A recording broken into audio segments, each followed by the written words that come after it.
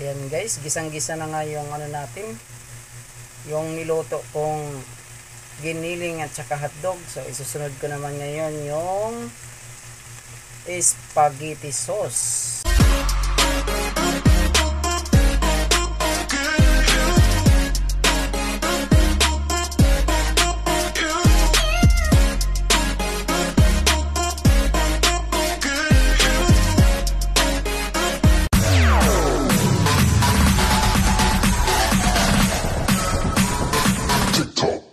Stop.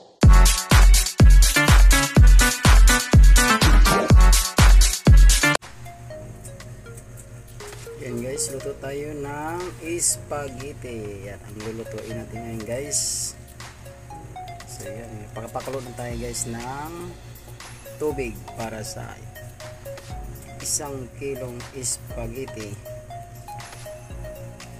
So ngayon guys, kailangan natin siya palambutin.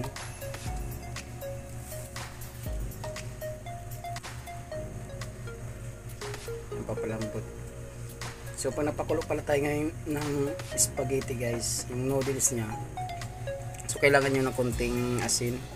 Lagyan sa tubig tapos konting mantika. So ang purpose dyan guys para hindi naman siya masyadong matabang yung noodles niya. So ang spaghetti naman natin kaya nilagyan natin ng konting mantika para hindi siya magbuo-buo. So yun ang purpose niya guys. Kaya laging kahit isang takip lang ng ano guys. O isang kutsara na mantika ilagay natin patak natin sa kinukulo ang tubig. Ayan, antayin natin ito guys na medyo lumambot yung spaghetti noodles natin. Ayan guys. May nahanda na rin ako na bawang at saka sibuyas para sa pagisa sa giniling para sa spaghetti. Saka nandito na rin yung ano, dito ko na rin nilagay yung hotdog natin Ayan, nakaready na rin yung hotdog natin para sa pag-isa. Ayan, nandito na rin yung giniling natin guys. Ito yung gagamitin ko sa uh, spaghetti natin. Sa spaghetti ko na lulutuin. Ito guys, nasa kalahating kilo lang to sa isang kilong uh, spaghetti. Kadepende rin sa inyo guys kung ilang ano kung pwede nyo damihan ng ano ng giniling nakadepende na rin sa inyo. Pero mas masarap guys maraming giniling at saka maraming hotdog. So nandito na rin yung ano natin yung sauce. So yan yung spaghetti sauce nakadepende na rin sa inyo guys. Hindi ko napapakita yung ano niya kasi may mayroon siyang label na ano natin. Label niya na brand. So yan bawang, sibuyas Lalagyan ko pa rin yan guys ng ano, ng pamintang durog para sa ating sa giniling ko na lulutuin. See you, susunod. So yan guys, kailangan na natin i-testing kung luto na yung noodles niya. So kung medyo luto na yung noodles guys, ma ano na niyo naman guys, mapapansin niyo naman kung mabilis maputol yung pinaka noodles niya. Kung wala na kayong ma ah, mahawakan na medyo matigas. So ibig sabihin niyan guys, okay na siya. Yan para masigurado luto na yung noodles natin. Ayan guys, tinanggalan ko na siya ng tubig na pinapakuluan ko sa yung noodles. So ngayon binabaran ko naman siya ng tubig guys. Tubig na galing sa gripo. Yan yung tamang tama lang sa ano niya guys. Yung maka basa lang sa ibabaw ng ano niya. Yan. So ibababad ko to guys para ah, tumubo pa siya yung noodles niya. Yan, within 5 minutes lang to guys. Babad. Tapos, saka natin i-steam. Tanggalan lahat ng tubig para makatulo lahat. Para okay na tong noodles natin. Kailangan muna siya ibabad sa ah, malamig na tubig para tumubo yung noodles niya.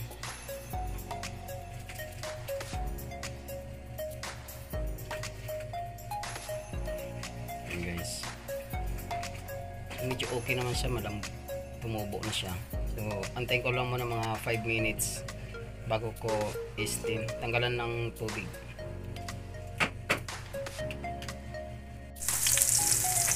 Yan guys, nagisa na nga pala ako ng ano ng sibuyas. So inuna ko muna ang sibuyas guys para ano. Kasi matagal ang sibuyas maluto kaysa bawang. Ang bawang kasi guys mabilis masunog. Kaya ganun yung estilo guys. Para sa spaghetti sauce tayo guys. Tingnan nyo guys kung paano ko magluto ng masarap na masarap na spaghetti. Yan, paborito ng mga bata at matatanda. Hindi lang bata guys. Yan. Yan, sinunod ko na rin ang bawang. Para masabay na rin siya sa luto guys.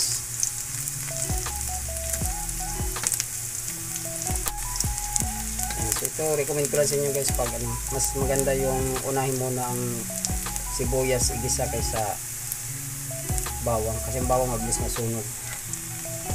Pag medyo mamula-mula na yung sibuyas saka ilagay yung bawang.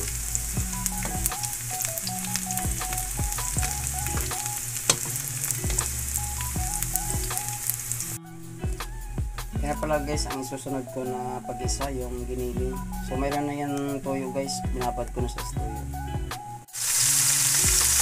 Yan ginisa ko na yung giniling ko. Para sa spaghetti sauce. So nakadepende sa inyo guys kung gaano karami yung giniling na gagamitin. Masarap din guys ang ano giniling na baka. Ito giniling na baboy guys ang gamit ko. Yan malasa din yun yung giniling na baka So minsan pag nag-spaghetti kami guys, pag medyo maka, sa ipa nila makalog-log guys kasi medyo mas mataas ang presyo ng giniling na baka. So baka ang gamit. So ito ngayon guys, masarap din ang mga baboy. Nakadepende na lang guys sa mga nilalagay natin ng pampalasa. Yan, so antayin ko guys na maluto to guys.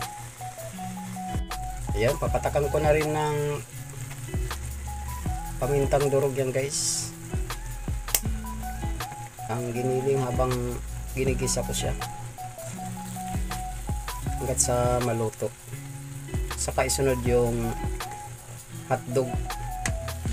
Yan technique guys. Kailangan maka kisa din ang hotdog. So antay mo na maluto yung giniling bagong hotdog. Kasi ang hotdog guys mabilis maluto. Ang giniling medyo matagal-tagal to. So kailangan medyo lutong-luto siya yung giniling para masarap. Yung tipong pamantika na. Yan masarap na ano luto ng giniling. Bago lagyan ng hotdog na hiniwa. Guys ito na nga pala yung ano ah, pina steam kong noodles. Ayan. Para makatulo na yung ano niya guys yung tubig. Ito yung binabad ko kanina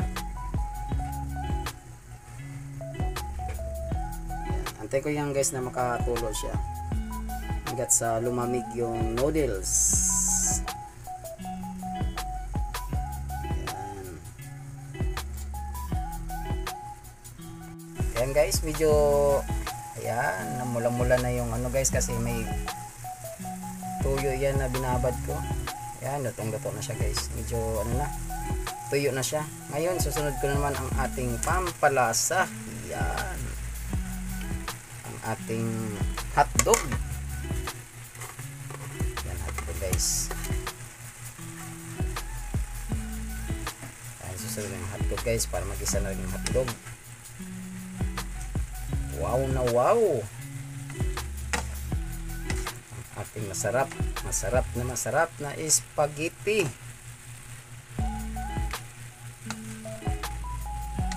Yan, kailangan gisang-gisa din yun guys ang aking hotdog para sa spaghetti sauce.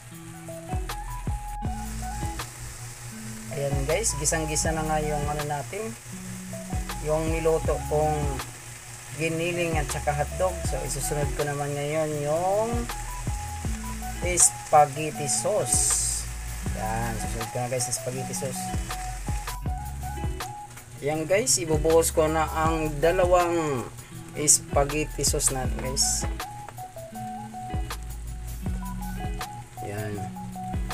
Spaghetti sauce dalawang pack na malalaki.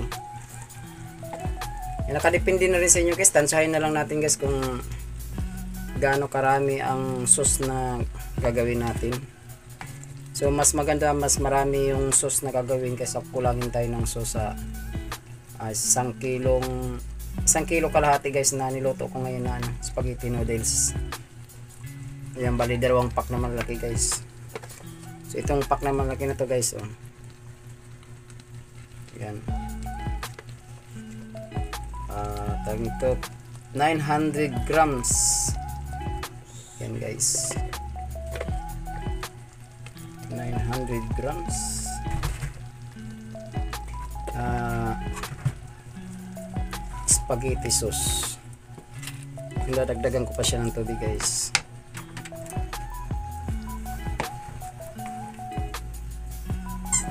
Hindi pa tayo nagtatapos dyan guys.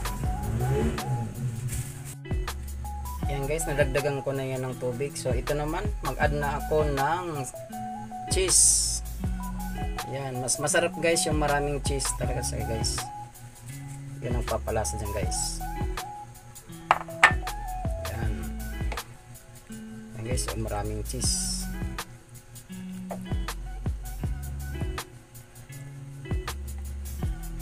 Pa tayong gagawin dyan guys para medyo lalapot-lapot ng konti. Ayan, halo-haloin lang siya. Hanggat sa makakulo yung ano natin. Yung spaghetti sauce.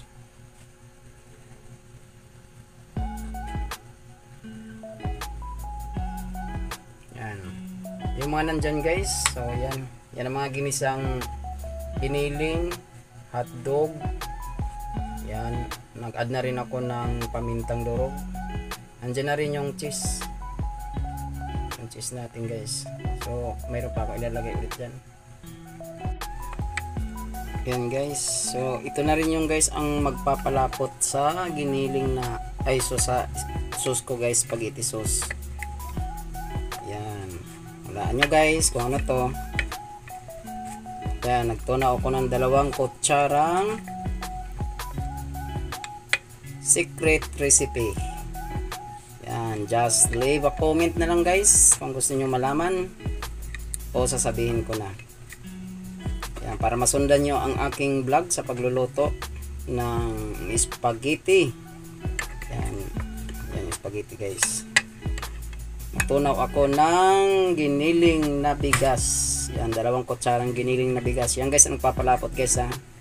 So hindi ako gumagamit ng harina, hindi ako gumagamit ng cornstarch. Yan, giniling na bigas yan guys, dalawang kutsara. Yan guys, dahil pwede nang ilagay ko yung aking pampalapot. Kasi nakakulo na siya guys.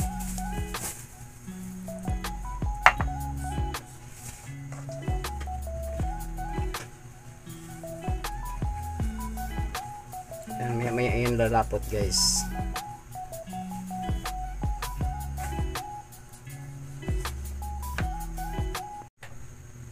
Yan na nga guys, medyo malapot na yung aking sauce.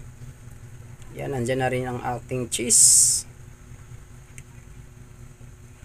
Yan, pwede rin kayo guys mag-add ng ah, ketchup.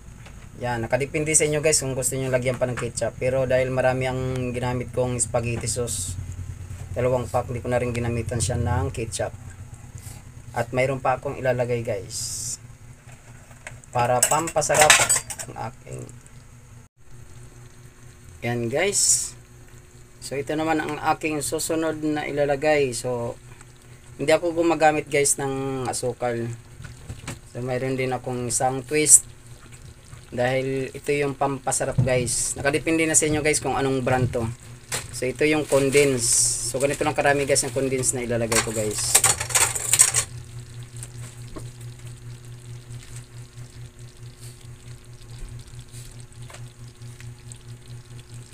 Yan. So condense ang pampatamis ko dito guys. So, hindi ako gumagamit ng sugar. Yan para manunuot ang lasa pag condense guys.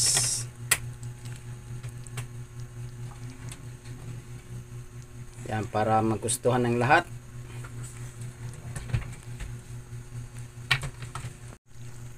Ayan nga guys. Ito na yung panghuling pampalasa ko, yung ating condense. Hindi ako gumagamit ng sugar. Yan, tawang-tama na guys, ang tamis. So, ayan guys, oh.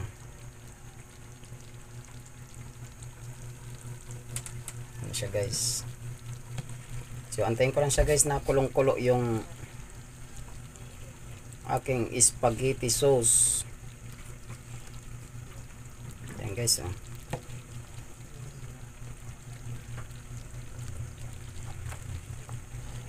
So natikman ko na siya guys, masarap na masarap na ang aking spaghetti sauce. Yan, pakuluin ko lang siya ng husto. Yan, maraming maraming salamat sa inyo lahat dyan guys sa pagpanood sa aking paggawa ng spaghetti sauce. So mamaya guys, so yung mga preparation at pinapalamig ko na rin ang spaghetti noodles. Yan, kung bago ka lang sa aking YouTube channel, please subscribe po Nilo Castulo on TV guys. Ah, share, like, and subscribe mga kaibigan.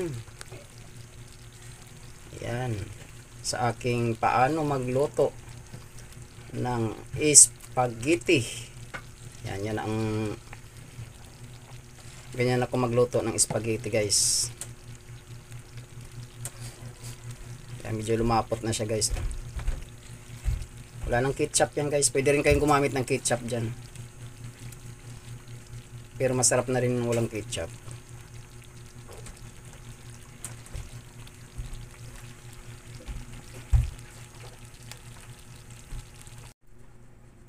Okay guys, ito na nga guys ang aking final na loto. Ayan guys ah. So take note lang natin guys para mayroon tayong pang topping sa ibabaw guys uh, mag-set aside tayo ng uh, spaghetti sauce. Yan, tapos lagyan natin sa ibabaw ng cheese. Yan guys, ito, ganito kalaki guys ang aking gawa. So, meron pa dito guys sa kawali na ginawa ko guys. Nalo ko na. So, ito, ready to eat na tayo guys. Yan, yum yum na to guys. Sarap na. Yan, mas maraming cheese yan guys. Yan, masos. Yan, para maka-absorb na yung ano niya, lasa. Yan, see you. See you my next vlog guys. Thank you so much. Yan. Uh, imbitahan ko kayo sa mga kaibigan natin na bagong pasok lang sa aking YouTube channel. Yan, please subscribe Nilo Castulo on TV. At sabay share, like, and subscribe mga kaibigan. At sabay kalimbang na rin po. At para ma-update kayo sa aking susunod na vlog. Yan sa aking lutong spaghetti. And thank you so much. Bye bye everyone.